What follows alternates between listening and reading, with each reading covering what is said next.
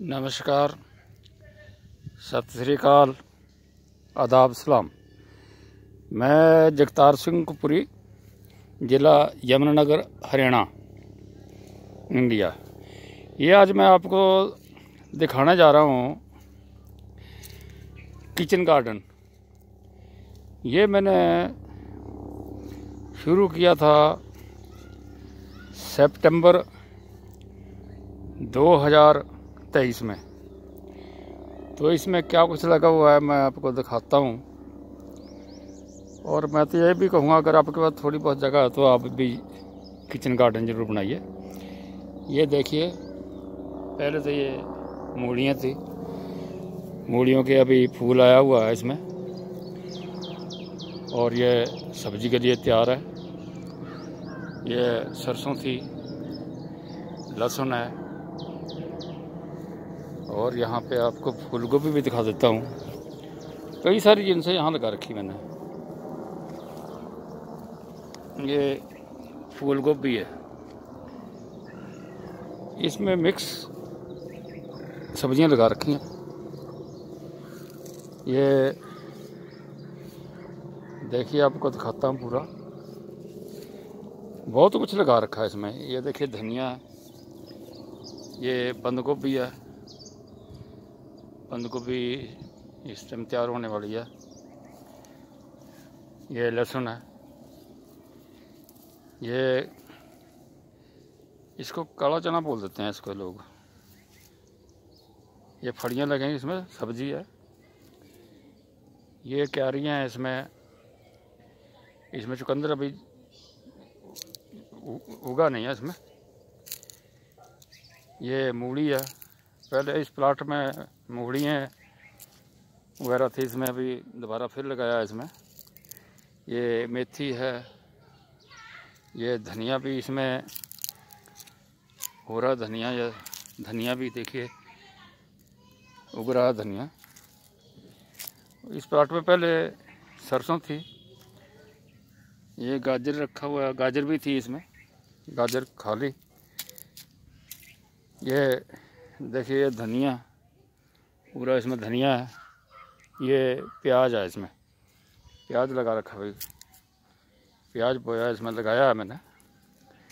ये सब क्यारियाँ जो है, इसमें कुछ ना कुछ बोया हुआ है। सभी को खाली नहीं है इस टाइम लेकिन इस टाइम ये पालक है। पालक आपको दिखा देते हैं, ये पालक। छोटी छोटी अभी बहुत। ये धनिया की लाइन है। प्याज बहुत कुछ है इसके अंदर। ये यहाँ पे भिंडी है, लेकिन अभी उगी नहीं है वो। बरसात हो गई थी। ये चार चफेरे मैंने बाउंड्री कर रखी है, इसके तार लगा रखी है चार चफेरे तार लगा के नया नया काम शुरू किया था। ये रेत रखी मैं डालूँगा इसमें। ये देखिए आप, ये बैंगन है। ये मटर का पौधा है। बहुत कुछ लगा रखा है इसमें। थोड़ा थोड़ा खाते रहते हैं, हो भी जाता है, बहुत अच्छा हो जाता है इसमें। ये मटर है। मटर बहुत बढ़िया वाली फड़ी है, ये देखिए। दस बारह दाने हैं इसमें। बहुत बढ़िया मटर है इसमें। ये अभी धनिया जो है वो होने वाला है टमाटर से। बहुत बढ़िया हो रहे थे टमाटर, लेकिन वो सर्दी में मौसम ख़राब होने की वजह से। वो जल गए हैं, मटर।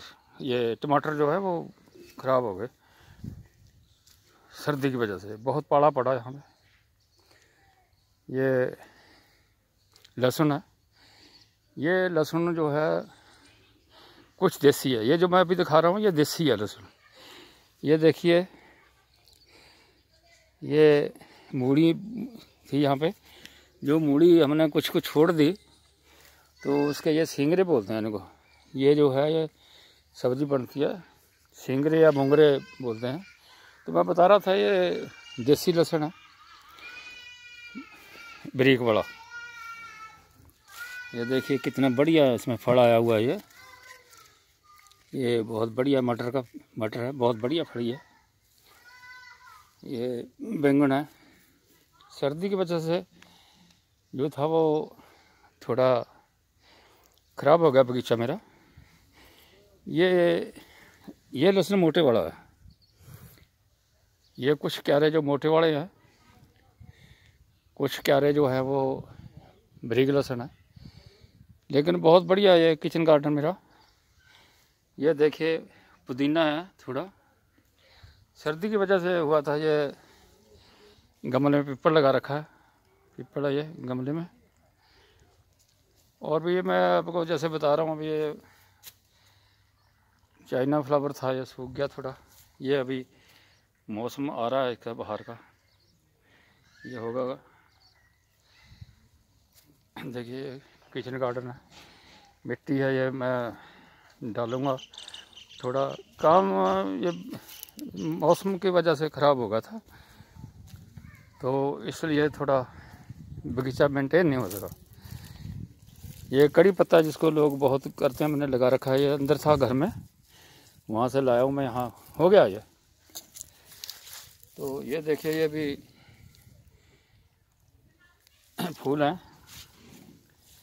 ये थोड़ा पाइप लगा रखा है पानी के लिए। ये गुलाब। तो ये बगीचा मैंने अभी शुरू किया सितंबर 2023 में। तो फिर भी बहुत बढ़िया है, बहुत बढ़िया हो रहा है। तो ये देखिए धनिया वगैरह वगैरह और ये गोभी, ये देखिए। ये बगीचे में मेरे गोभी है, ये गोभी का फूल दिखा रहा हूँ मैं आपको, दिखाई दे रहा होगा। बड़ा फूल है, बढ़िया। इसको एक दो दिन में निकालूँगा इसको। तो ये बहुत बढ़िया बगीचा है मेरा। ये देखिए, ये गाजर है ये। अभी तो इसमें बीज ही बनेगा, गाजर तो है तो नीचे, लेकिन मैंने खेड़ी नहीं। मैंने सोचा चलो बीज तो वैसे मैं पैकेट का ला के बोलता हूँ, बोता हूँ ये। पैकेट का बीज बोता हूँ मैं, ये दूसरा बीज घर से जो इकट्ठा किया हुआ मैं बीज नहीं बोता हूँ। तो ये मैं इसलिए दिखा रहा था कि अगर आपके पास भी थोड़ी जगह है तो आप बनाइए किचन गार्डन बनाइए आप, बहुत फ़ायदा है इसका। तो मेरे पास यहाँ पे साग था ये, सरसों का। तो बहुत हमने खाया वो घर में। और शलगम थे। शलगम बहुत हुए। मूड़ियाँ तो बहुत ही ज़्यादा।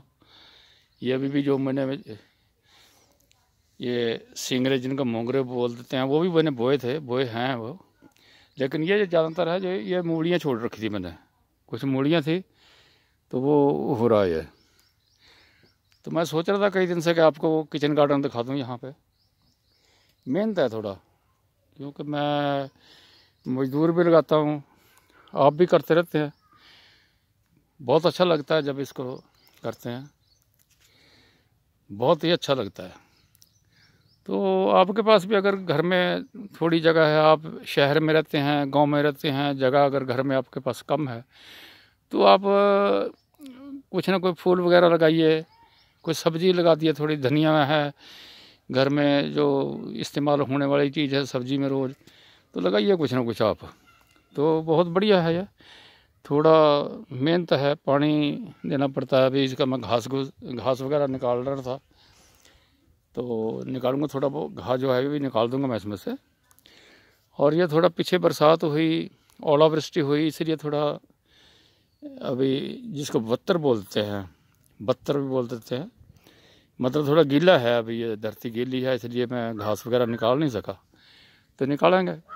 तो मुझे पूर्ण आशा है कि आपको भी अच्छा लगा होगा मेरा बगीचा। बगीचा आपको भी अच्छा लगा होगा ये। तो आपका वीडियो देखने के लिए आपका धन्यवाद। धन्यवाद। धन्यवाद।